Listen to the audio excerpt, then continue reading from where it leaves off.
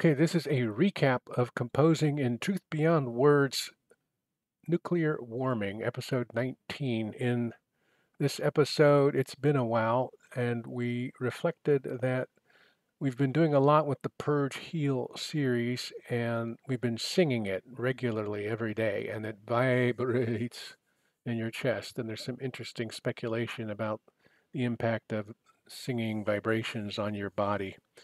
So we decided to do a triplet form and we made and posted what we call version 6 of this. So this is what it sounds like and looks like.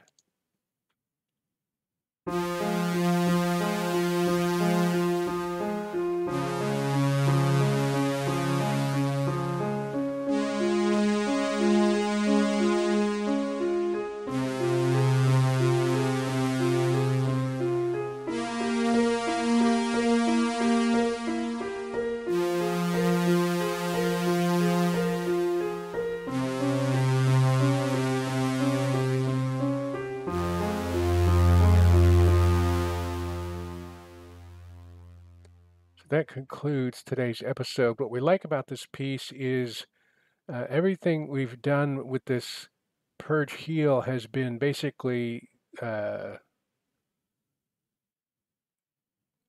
it wasn't straight triplets. We don't use it. We think it was in six, but maybe they're all in eight parts.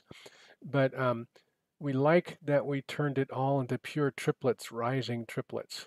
Um, we also like the the the bass part and we kind of see a pattern.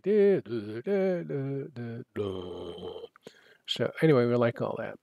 Um, our ideas for next time are pretty much to continue, well, to be determined, but we're still working on this Purge Heal series until further notice, and we're still working on composing in truth beyond words until further notice. So tune in next time to see what happens. Take care, do come back, and keep on streaming.